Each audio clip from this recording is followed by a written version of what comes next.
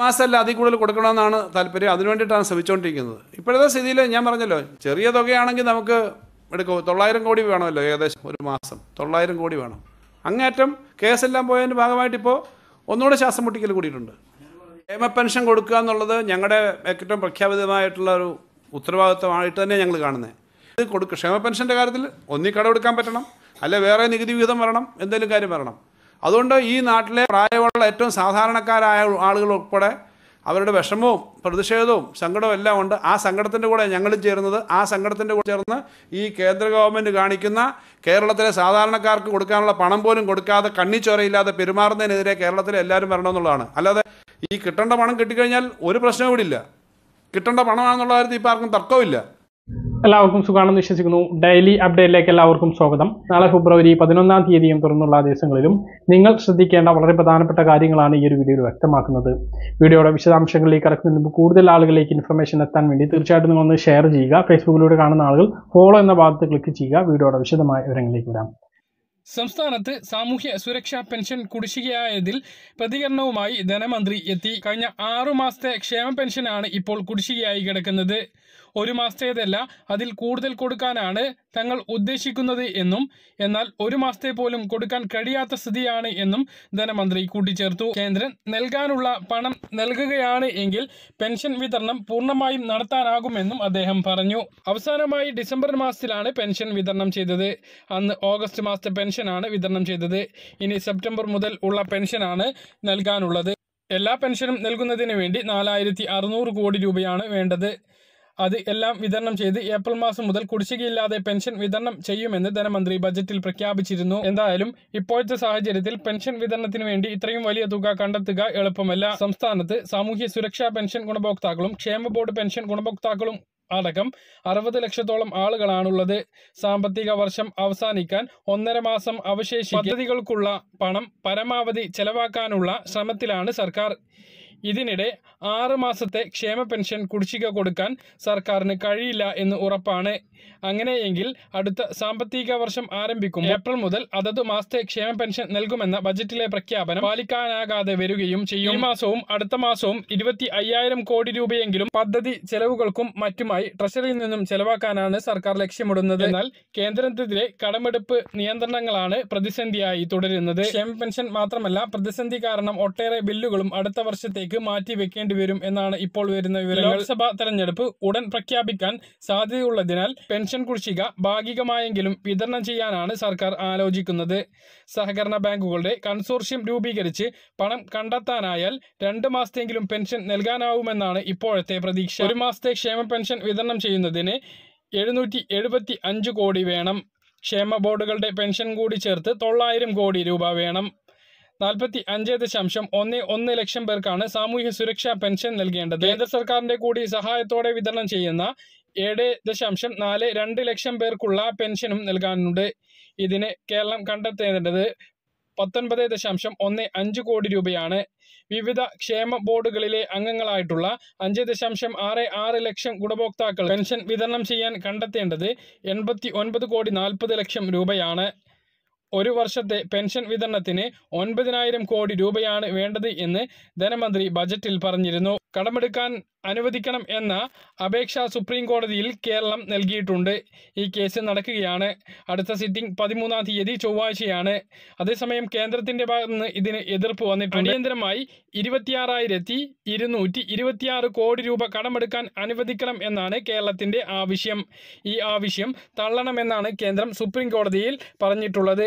ഇടക്കാല ഉത്തരവ് തേടി കേരളം സമർപ്പിച്ച ഹർജിയിലാണ് കേന്ദ്രത്തിന്റെ മറുപടി. അടിയന്തര കടമെടുപ്പിന് സംസ്ഥാനത്തിന് അവകാശമില്ല എന്നും പതിനഞ്ചാം ധനകമ്മീഷൻ കേരളത്തെ ഉയർന്ന കടബാധ്യതയുള്ള സംസ്ഥാനമായി വിലയിരുത്തിയിട്ടുണ്ട് എന്നും കേന്ദ്രം വ്യക്തമാക്കുന്നു. സംസ്ഥാനം അപേക്ഷയിൽ ഉന്നയിക്കുന്ന ഓരോന്നിനും മറുപടി പറയുന്ന കേന്ദ്രം സാമ്പത്തിക സ്ഥിതിയെക്കുറിച്ച് ജി ധനകമ്മീഷന്റെ റിപ്പോർട്ടുകൾ സംസ്ഥാന കേന്ദ്രത്തിന് നൽകിയിട്ടുള്ള ഇടപാടുകൾ സംസ്ഥാന കേന്ദ്ര കത്ത് ഇടപാടുകൾ എന്നിവയും നൽകിയിട്ടുണ്ട്. സാമ്പത്തികമായി അനാരോഗ്യമുള്ള സംസ്ഥാനമാണ് കേരളം. തുടർച്ചയായി ധനകാര്യ കമ്മീഷനുകൾ ഇത് ചൂണ്ടിക്കാണിക്കുന്നുണ്ട്. നികുതി വരുമാനത്തെക്കാൾ കൂടുതലാണ് കേരളത്തിന്റെ കടമെടുപ്പ് എന്നും ചൂണ്ടിക്കാണിക്കുന്നു. കടമെടുപ്പ് പരിധി പല ഘടനകളുടെ അടിസ്ഥാനത്തിലാണ് കേന്ദ്രം തീരുമാനിക്കുന്നത്. ഇതിൽ കോടതി ഇടപെടരുത്. കടമെടുപ്പ് പരിധി നിശ്ചയിക്കുന്നത് സംസ്ഥാനത്തിന്റെ ബജറ്റിലേക്കുള്ള കടന്നുകയറ്റമല്ല എന്നും കേന്ദ്രം ചൂണ്ടിക്കാണിക്കുന്നു. കേരളം ലോകബാങ്കിൽ നടക്കം കടം എടുത്തു ഇതിന്റെ ഉത്തരവാദിത്തം കേന്ദ്ര സർക്കാരിനാണ്. കൊച്ചി മെട്രോയുമായി ബന്ധപ്പെട്ട ലോണിലും കേരളം വീഴ്ച വരുത്തിയിരുന്നു. പിന്നീട് കേന്ദ്രമാണ് ഈ തുക അടച്ചത് എന്നും കേന്ദ്രം വ്യക്തമാക്കുന്നു. അപ്പോൾ വളരെ പ്രധാനപ്പെട്ടിട്ടുള്ള റിപ്പോർട്ടുകളാണ് കേന്ദ്രമന്ത്രിയുടെ ഭാഗത്തു നിന്നും അതുപോലെ തന്നെ കേന്ദ്രം കോടതിയിൽ കൊടുത്തിട്ടുള്ള റിപ്പോർട്ട് കടമെടുത്തുകൊണ്ട് ഒരു പെൻഷൻ വിതരണം ഇപ്പോൾ സാധ്യമല്ല. സഹകരണ ബാങ്കുകളുടെ കൺസോർഷ്യം രൂപീകരിച്ച് രണ്ടായിരം കോടി രൂപ കടമെടുക്കുകയാണ് എങ്കിൽ രണ്ട രണ്ട് മാസത്തെ പെൻഷൻ വിതരണത്തിന് സാധിക്കും. ഇപ്പോൾ സർക്കാരിന് മറ്റ് ചിലവുകളുടെ കാര്യത്തിൽ തന്നെ വേവലാതി പെൻഷന്റെ കാര്യം അത്ര കണ്ട് പ്രതീക്ഷിക്കേണ്ടതില്ല. മറ്റൊരു പ്രധാനപ്പെട്ട അറിയിപ്പ് മുഖ്യമന്ത്രി പിണറായി വിജയന്റെ ഭാര്യ കമല വിജയന്റെ ചികിത്സക്കായി രണ്ട് ലക്ഷത്തി അറുപത്തി ഒൻപതിനായിരത്തി നാനൂറ്റി മുപ്പത്തി നാല് രൂപ സർക്കാർ അനുവദിച്ചു. ഭരണ വകുപ്പാണ് അനുമതി ഉത്തരവ് നൽകിയത്.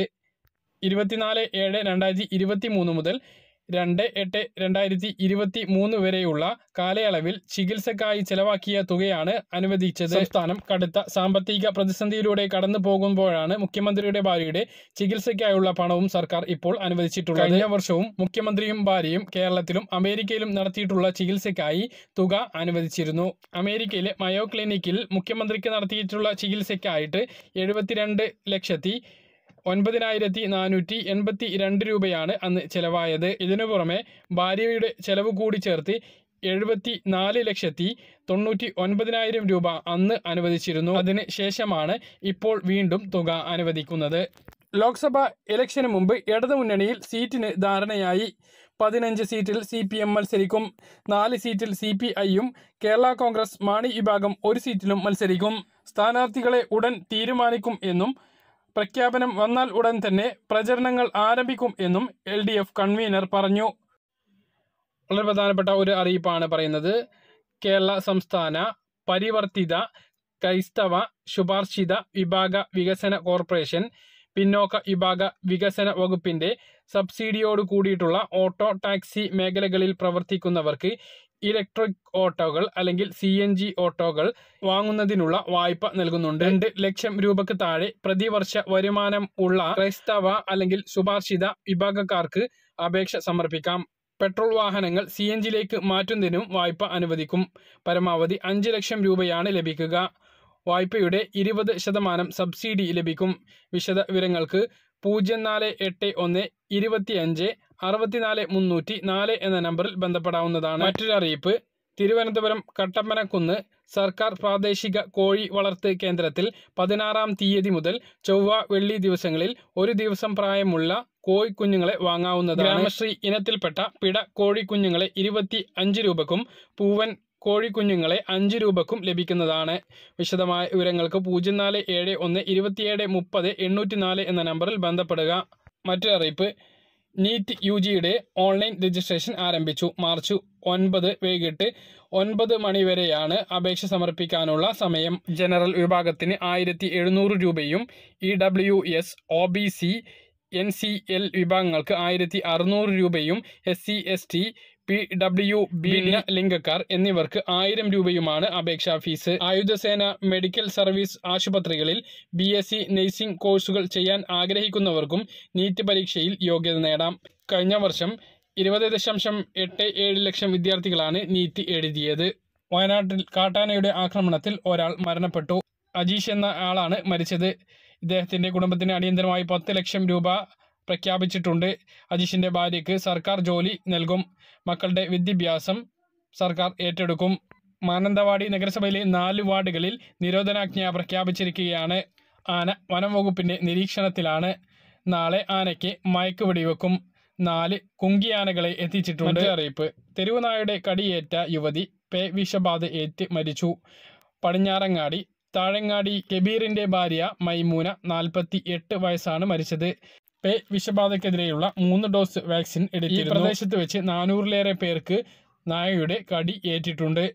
മറ്റൊരു പ്രധാനപ്പെട്ട അറിയിപ്പ് സ്വകാര്യ ബസ്സുകളിലെ വിദ്യാർത്ഥികളുടെ കൺസെഷൻ കർശനമായ ഇടപെടലുമായി ബാലാവകാശ കമ്മീഷൻ രംഗത്ത് വന്നിട്ടുണ്ട്. കൺസെഷൻ നിശ്ചയിച്ച നിരക്കിൽ ലഭിക്കുന്നു. കൺസെഷൻ നിശ്ചയിച്ച നിരക്കിൽ ലഭിക്കുന്നുണ്ട് എന്ന് ഉറപ്പുവരുത്തുമെന്ന് കമ്മീഷൻ അറിയിച്ചു. കൂടാതെ കൺസെഷൻ നൽകാത്ത ബസ്സുകൾക്കെതിരെ പെർമിറ്റ് റദ്ദാക്കാൻ ട്രാൻസ്പോർട്ട് കമ്മീഷണറോട് ബാലാവകാശ കമ്മീഷൻ നിർദ്ദേശം നൽകിയിട്ടുമുണ്ട്. മറ്റൊരു അറിയിപ്പ് സംസ്ഥാനത്ത് നിന്ന് സ്വർണവില കുറഞ്ഞു. പവന് നൂറ്റി അറുപത് രൂപയാണ് കുറഞ്ഞത്. ഇതോടെ ഒരു പവൻ സ്വർണത്തിന്റെ വില നാൽപ്പത്തി ആറായിരത്തി ഒരുന്നൂറ്റി അറുപത് രൂപയായി. പറഞ്ഞ കാര്യങ്ങൾ കൃത്യമായിട്ട് മനസ്സിലാകണമെന്ന് കരുതുന്നു. ഇതുപോലെ ഇൻഫർമേഷൻ ലഭിക്കാൻ ചാനൽ സബ്സ്ക്രൈബ് ചെയ്യുക അതിലേക്ക് എനേബിൾ ചെയ്ത് നോക്കുക മറ്റൊരു വീഡിയോ നമുക്ക് വീണ്ടും കാണാം.